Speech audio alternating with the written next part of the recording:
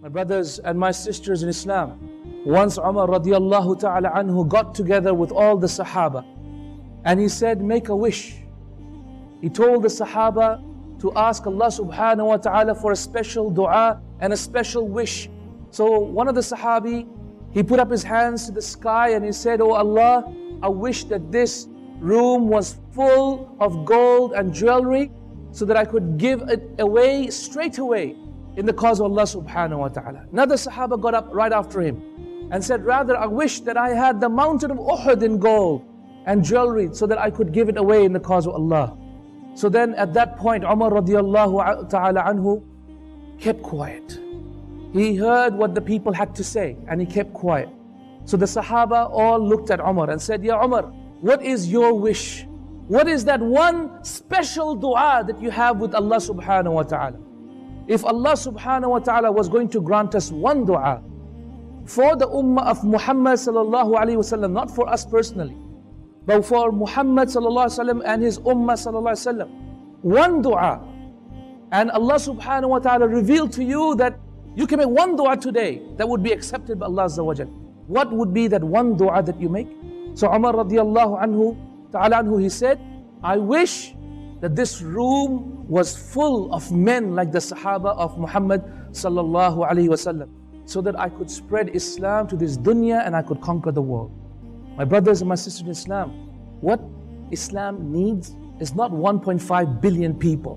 What Islam needs is a room full of true men and true women.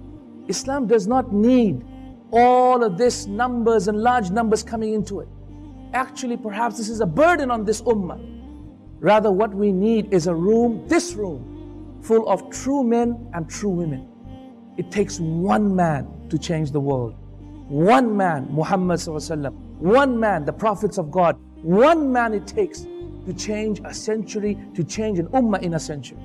The Prophet said, every single century, every single qarn, Allah subhanahu wa ta'ala will send one man who will change the ummah and its situation and renew for its for it, meaning the ummah, its religion.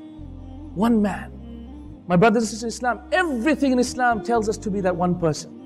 Every single thing, whether you look in the Quran or the Sunnah or in history, every single thing tells us to be that one person, one man. The Prophet ﷺ, that's what he focused on.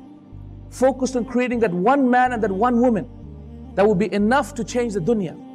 But the Prophet ﷺ, his greatness was that he left behind thousands of men and thousands of women who could change the dunya. It is unfortunate that they only lived for a few years 70, 80, 90 years, but with the hope that their children, which is us, would come forward and take on their banner and their message.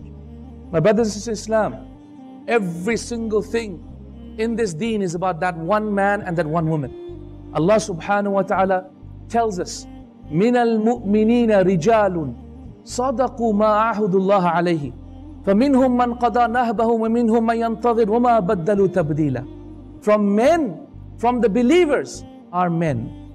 Meaning not all believers are real men. You're a man. You're a man perhaps. I'm a man. But am I a man? A man. That is a real challenge today. To be the man that Allah subhanahu wa ta'ala truly wants us to be. My brothers and sisters in Islam, min al mu'minina rijalun. From the believers are men who are truthful to the covenant that they have placed with Allah subhanahu wa ta'ala. From them are those that have passed away. From them are those that await. And they have not changed in their will. The scholars of tafsir are in complete agreement that this verse was revealed regarding a man by the name of Anas bin Nadar who failed to attend the battle of Badr. So he said, Oh Allah, give me one chance. Oh Allah, I missed the battle of Badr. And how dare I miss the battle of Badr? Oh woe to me, I missed the battle of Badr. I wish, oh Allah, give me one more chance. Yeah, khuti, we all missed the battle of Badr, did we not? We all missed being the companions of Rasulullah, did we not? So why not make the same promise that Anas bin Nadar did? Oh Allah, give me one chance. Oh Allah, give me one chance. I will prove to you how much you mean to me. Oh Allah, give me one chance. Oh Allah, give me one chance, one life, one opportunity. And I will prove to you, oh Allah, how much I love you. Oh Allah, give me one chance.